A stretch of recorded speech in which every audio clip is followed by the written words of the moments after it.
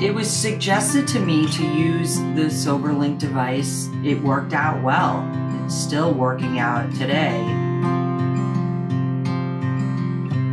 To prove that I don't have a drinking problem and that I could, you know, show responsibility. I've had the device for nine months now. I've had over um, 400 compliant test results. I found it to be extremely important in my defense to have full custody of my children.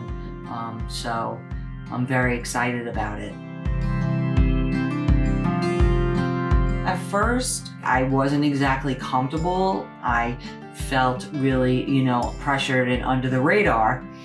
But after just accepting it and saying no problem, I went with it and it, it was very easy. It worked out well. It's still working out today.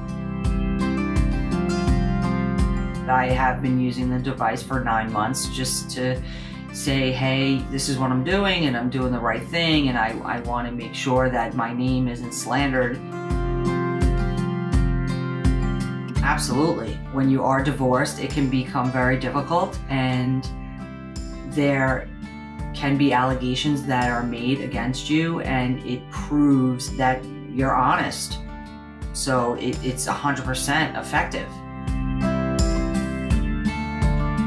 It's a great way to, you know, prove your innocence. I'll do anything for my children and if this is going to show that I am a responsible adult and parent, then this is the device to get for sure.